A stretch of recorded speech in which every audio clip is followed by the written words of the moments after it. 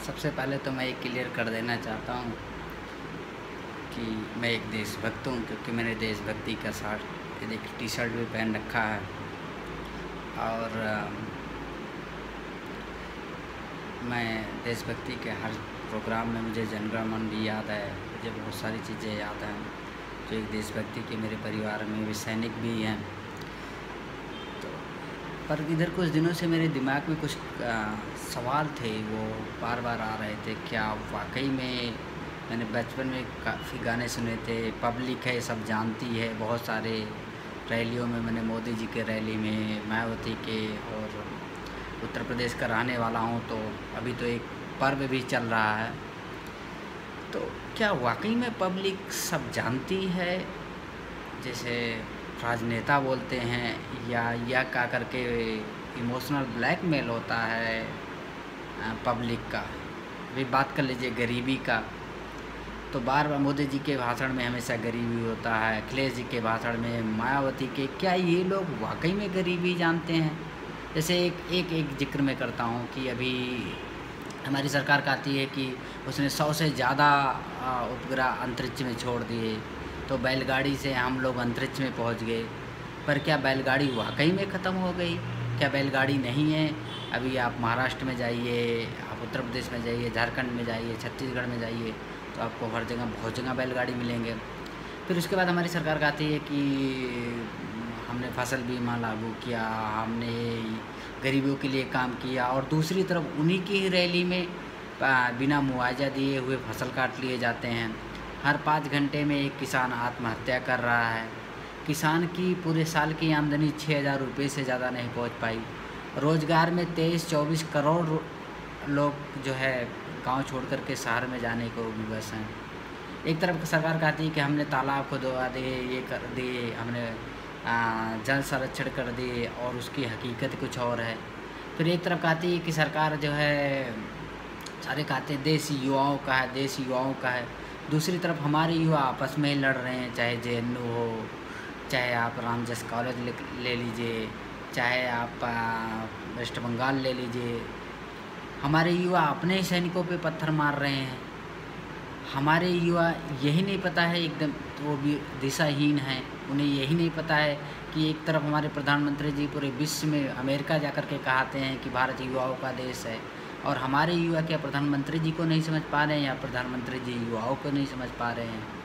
फिर उसके बाद फिर अभी आप दूसरा उदाहरण ले लीजिए, सबका साथ, सबका विकास का। तो क्या वाकई में सबका साथ, सबका विकास हो रहा है? या इसके ज़िम्मेदार कौन है? कैराना में लोग पलायन कर गए। जात विशेष को लोग वोट देते हैं। उत्तर प्रदेश में हिंदू, मुस्लिम मुस्लिम को हिंदू हिंदू को जात के आधार पे वोट बढ़ रहे हैं तो सबका साथ, सबका विकास कहाँ से हो पाएगा? क्या हमारे राजनेता वाकई में धोखा नहीं देते पब्लिक को? वादे और करके सब, सपोज़ करिए क्या अगर हमने बसपा को वोट दिया तो क्या गारंटी की बसपा भाजपा के साथ नहीं चली जाएगी, सपा कांग्रेस के साथ नहीं चला जाएगी? अभी वहाँ पे ले लीजिए, शिवसेना को लोगों ने वोट दिया, शिवसेना कह रही है कि हम कांग्रेस के साथ चले जाएँगे। तो वह क्या हमारे साथ डेमोक्रेसी के नाम पे छलावा नहीं होता छल नहीं होता। हम वोट किसी और मुद्दे पर देते हैं बाद में वो सारे राजनेता एक जैसे हो जाते हैं। आप चाहे वो दिल्ली की सरकार को ले लीजिए चाहे किसी प्रदेश को। एक तरफ़ हम कहते हैं कि गरीबी हम देश आ, क्या ये राजनेता हमें मूल बिंदुओं से भटका नहीं रहे हैं? हमारे युवाओं को गुमराह कर रहे हैं। हमारे हिंदू और मुस्लिम भाइयों को गुमराह कर रहे हैं। और विकास, मैं नहीं कहता कि इस विकास का जिम्मेदार कौन है। जो विकास नहीं हुआ, कांग्रेस, भाजपा, जो भी है, मेरे हिसाब से तो राजनेता जिम्मेदार हैं और राजनेता हमें आज भी पीछे छोड़ रहे हैं। कभी वो चाहते नहीं कि हम पढ़े लिखे आगे बढ़ें, कभी धर्म के नाम पे हमको बांट रहे हैं, कभी जात के आधार पे, कभी, जैसे अभी बात चल रही है कि हमारे यहाँ इलेक्शन का टाइम है कोई कह रहा है कि हम लैपटॉप देंगे फ्री में, कोई हमें कह रहा है कि हम आपको एक किलो चावल देंगे, दही देंगे, घी देंगे, ये देंगे, वो देंगे। तो क्या ये गुमराह करना नहीं है? क्या क्या जन, ये लोग पैसे ले आएँगे कहाँ से? जो पैसे ये बांटने की बात कर रहे हैं, ये माफ़ी बात कर रहे हैं, चौदह दिन के अंदर किसानों को माफ़ हो जाएगा। तो क्या झूठे वादे नहीं हैं? क्या इसलिए ये नहीं जानते हैं कि पब्लिक सब जानती है, अगर पब्लिक सब जानती तो पब्लिक समझती नहीं। एक भी क्वेश्चन नहीं पूछे जाते इनसे कि क्या ऐसा ये लोग क्या कर रहे हैं। क्या ये लोकतंत्र का मज़ाक नहीं है? मेरे हिसाब से तो बिल्कुल ही लोकतंत्र का मज़ाक है। और हमें पूछना भी चाहिए, लेकिन हमें आज क्या, आज भी कहीं ना कहीं से वही रह गया है, जैसे ब्रिटिश ईस्ट इंडिया कंपनी ने किया था, बांटो और राज करो। आज भी वही हो रहा। छात्र को बांट दिया जा रहा है, धर्म के नाम पे बांट दिया जा रहा है, जात के आधार पे बांट दिया जा रहा है। तो क्या हमारे मोदी जी इस चीज़ को नहीं समझ पा रहे हैं? क्या हमारे प्रधानमंत्री जी इस इस दर्द को नहीं समझ पा रहे हैं कि आज हमें क्या चाहिए? हमें हमें जो है जब आप विकास की बात करते हैं, आपने नोटबंदी की बात की हाँ हम एक आम पब्लिक ने आपका पूरा सपोर्ट किया नोटबंदी में। आज भी आपके ऊपर भारत की जनता सबसे ज़्यादा विश्वास करती है। अगर आप पूरे और विश्व की देख ले तो हर जगह की सरकार पे उनका उतना विश्वास नहीं जितना भारत में, भारत की सरकार पर विश्वास है। लेकिन वाकई में जब प्रधानमंत्री जी भाषण देते हैं और आँखें नम कर देते हैं सबकी तो क्या ये इमोशनली ब्लैकमेल नहीं करते हैं? या अखिलेश जी इमोशनली ब्लैकमेल नहीं कर रहे हैं?